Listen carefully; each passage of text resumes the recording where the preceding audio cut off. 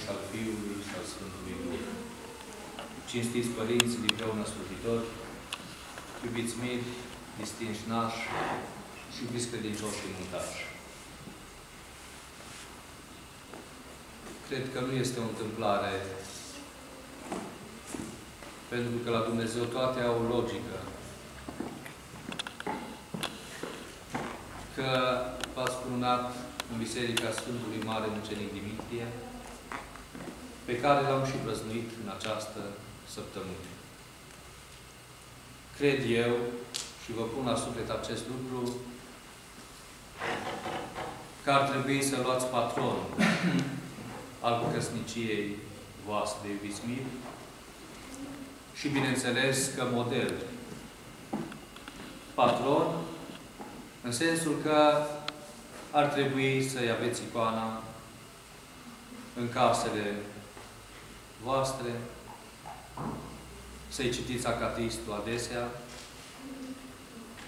și apoi să-i urmați pilda vieții. Sfântul Mare Mucenic Dimitrie nu a fost un om oarecare.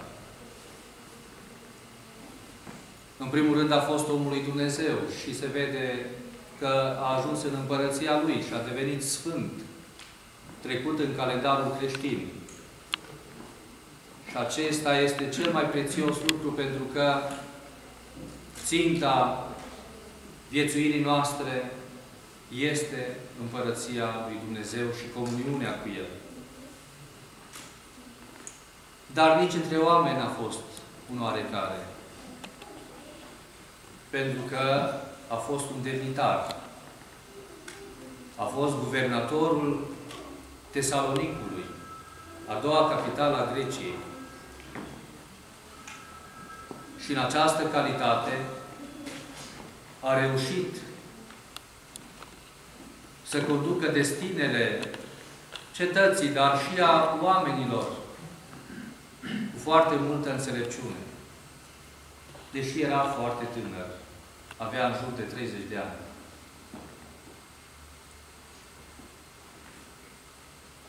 În același timp, nu numai că era demnitar, avea demnitate, pentru că și-a apărat credința dobândită de la părinții lui cu prețul sângelui.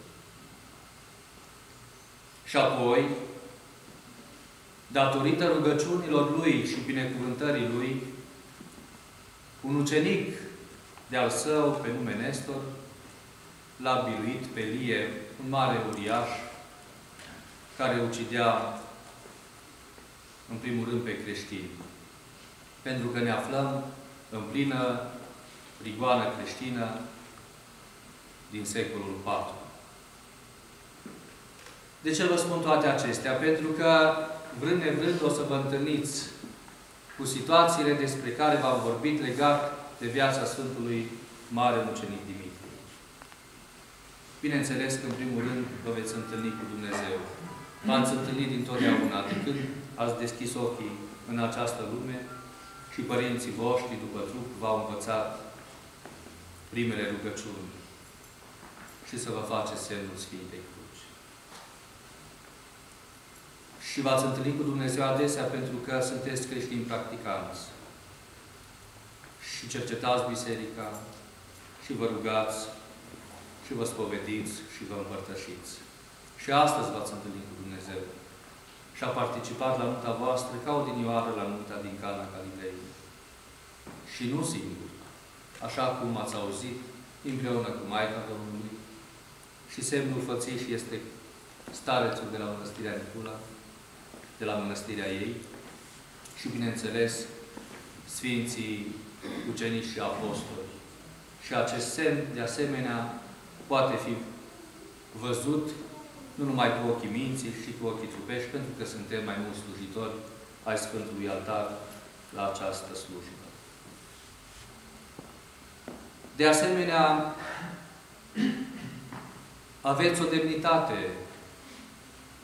pe care v-au lăsat o moștenire părinții voștri, la care ați adăugat voi și la care trebuie să adăugați. pentru că trăiți într-o societate umană față de care aveți responsabilitate. Trebuie să fiți, așa cum ne învață Sfânta Scriptură, lumină pentru ceilalți. Să deveniți o flacără care să lumineze atât viața voastră, dar și calea vieții celor care au să privească la voi. Ca văzând ei faptele voastre cele bune, spune Sfânta Scriptură, să slăbească pe Tatăl nostru cel din cer. Trebuie să fiți demni. Și demnitatea se încearcă, să știți, mai ales în lumea în care trăim. Trebuie să fim demni atunci când este vorba de credința noastră, să ne recunoaștem și să ne practicăm, să nu ne fie rușine. Că nu avem de ce. Din potrivă. Trebuie să avem demnitate în ceea ce privește respectul față de părinții noștri care ne-au născut și ne-au crescut. Este o datorie pe care Dumnezeu a rânduit-o într-una dintre poruncile dumnezeiești. Apoi, demnitatea aceasta trebuie întreținută prin tot ceea ce veți săvârși în această lume. Și continuată și moștenită, dăruită efectiv moștenire urmașilor, urmașilor voștri. Nu știm noi ce zile ne așteaptă. Pentru că vremurile pe care le trăim nu sunt ușoare. Și aceasta o vedem și o auzim zilnic. Nu știm dacă ni se va cere nouă să ne vărsăm sângele pentru Domnul Hristos sau pentru o cauză a umanității majoră. Dar eu știu un lucru și acesta vi-l pun la suflet, că suntem chemați să răbdăm. Și a răbda înseamnă a vărsa sângele. Mulți se rabdă în această lume. Se rabdă în familie, se rabdă în societatea în care trăim, în lumea întreagă. Și este necesar să răbdăm, dar să răbdăm cu folos. Așa cum spuneam odinioară la hramul Bisericii Sfântul Nectarie de acei Vindeci. Pentru că oricum răbdăm, dar să răbdăm cu folos. Așadar, jertfa care se cere din partea voastră, iubiți miri, este aceea a răbdării, a respectului, a demnității. Și toate acestea le veți reuși doar cu ajutorul Bunului Dumnezeu, care astăzi v-a încununat, care astăzi v-a însuțit și care, așa cum ați auzit la rugăciunea epiclezei a acestei cununii, și-a întins, și întins mâna Lui și v-a unit în fața oamenilor și ați devenit o făptură nouă. Acestea fiind zise, mă bucur din tot sufletul că sunt astăzi aici și asemenea ca mulți dintre cei care sunt aici de față, mi-am dorit să se întâmple acest lucru cât mai curând. Am așteptat suficient, unii am și încărunțit, dar ne bucurăm că s-a întâmplat și că s-a întâmplat aici încă o dată în biserica care este și cap, a Sfântului Dimitrie, care este și capelă militară. Aș vrea să vă mai pun la suflet, pe lângă cele pe care vi le-am spus, că în dreapta și în stânga voastră stau câțiva oameni care s-au responsabilizat astăzi prin faptul că au devenit martori și nuni.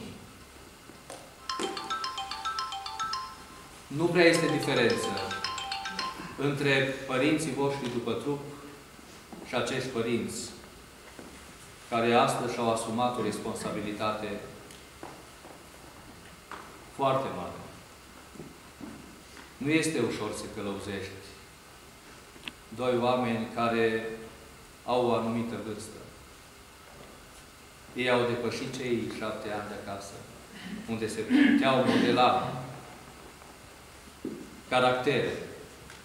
Acum este mult mai greu.